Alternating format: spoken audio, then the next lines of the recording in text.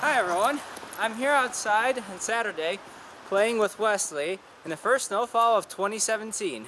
I got a great new video for you today and at the end of the video I've added a new bio section about me where you can learn fun facts about me and I'll update it at the end of each video so check it out.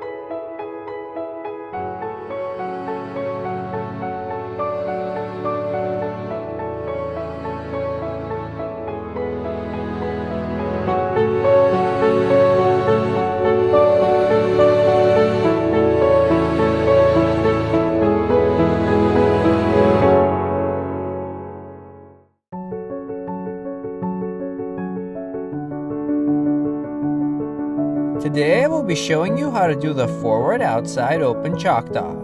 With this Choctaw, you do a forward outside entry edge and a backward inside exit edge. Bring your free foot's heel to the instep of the skating foot. Press through the diamond shape as you are changing feet.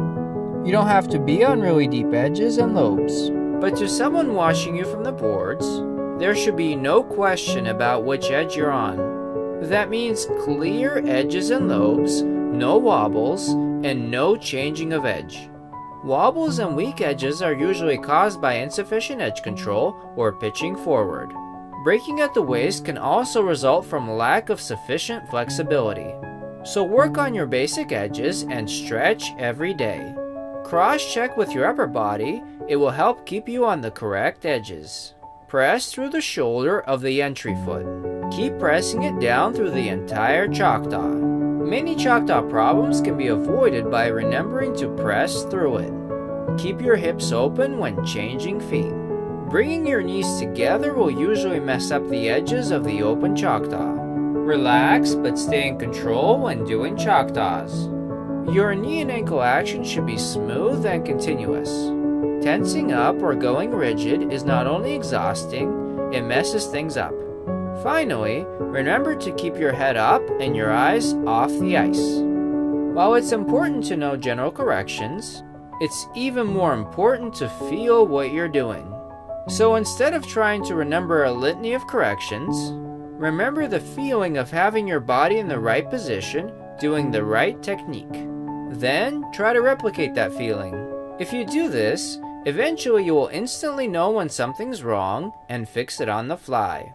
That's it for this video. If you have any questions, comments, or requests, leave a message in the comment section. And if you liked the video, please like and subscribe.